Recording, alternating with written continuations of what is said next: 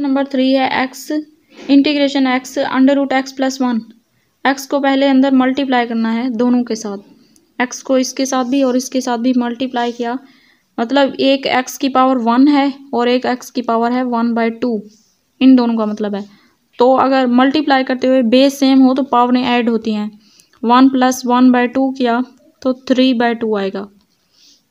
ये one plus one by two equal to three by two इसकी power ये है। ये इसको मल्टीप्लाई करने से आया है। और एक्स को एक मरतबा इसके साथ मल्टीप्लाई करके यहाँ पे लिखा।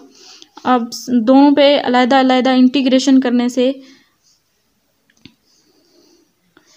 इंटीग्रेशन करने से क्योंकि उसकी पावर थ्री बाय टू में एक प्लस करना है तो क्या आएगा? Five by two three by two plus one जो होता है five by two five by two ऊपर मल्टीप्लाई पावर में भी लिखा और नीचे डिवाइड भी किया। इधर भी x square over two plus constant साथ में लिखना है। तो जो नीचे डिवाइड हो रहा है वो उसके साथ ये यहाँ पे फाइव बाई टू है तो इधर टू बाई फाइव आएगा। क्योंकि अगर यहाँ ये देखें बट्टे के नीचे है फाइव बाई टू तो इधर आज आके टू बाई फाइव हो जाएगा ना। तो इसी तरह।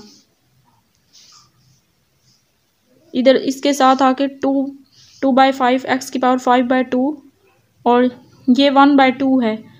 ये चेंज नहीं होगा, ये वैसे ही रहेगा। प्लस कॉन्स्टेंट ये इसका आंसर है।